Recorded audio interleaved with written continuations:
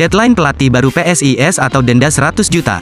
CEO PSIS Semarang siapkan pengganti Ali Sesai, Wales Kostain?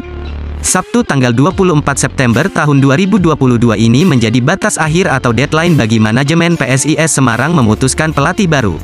Sesuai regulasi PSSI yang harus ditaati PSIS Semarang, tim harus sudah memiliki pelatih baru paling lambat sebulan setelah pencopotan atau pengunduran diri pelatih lama, dengan ancaman denda 100 juta bila melanggar. PSIS Semarang mengumumkan pemecatan Sergio Alexandre pada tanggal 24 Agustus tahun 2022 lalu sehingga Sabtu tanggal 24 September tahun 2022 kemarin menjadi batas akhir.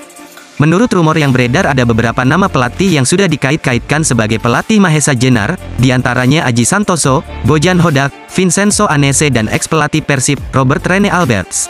Meski begitu, manajer PSIS sampai saat belum mengumumkan siapa sosok pelatih sebenarnya. Sementara, Panzer Biru dan Snacks nampaknya akan puas dengan jawaban dari CEO PSIS Semarang terkait nasib Ali Sesai. Di tengah tuntutan Ali Sesai untuk out, nama bek tanggung PSIS Semarang musim lalu Wallace Costa diminta kembali. Pasalnya sebagai seorang bek, Wallace Costa mampu menjelma sebagai keran gol di tengah krisis gol yang dihasilkan striker PSIS Semarang. Terbaru, CEO PSIS Semarang Yoyo Sukawi angkat bicara terkait tuntutan supporter untuk Ali Sesai. Dalam hasil sarasehan manajemen bersama supporter PSIS Semarang yang diunggah di YouTube, Yoyo Sukawi mengaku sedang mencari pengganti untuk pemain berusia 28 tahun tersebut. Dikatakan bahwa Ali Sesai saat ini sudah tidak tertolong lagi dan berpotensi akan segera dicoret dari daftar pemain. Kalau Ali Sesai berat memang, udah tidak tertolong, memang dia harus kita ganti dan kita lagi cari penggantinya, katanya.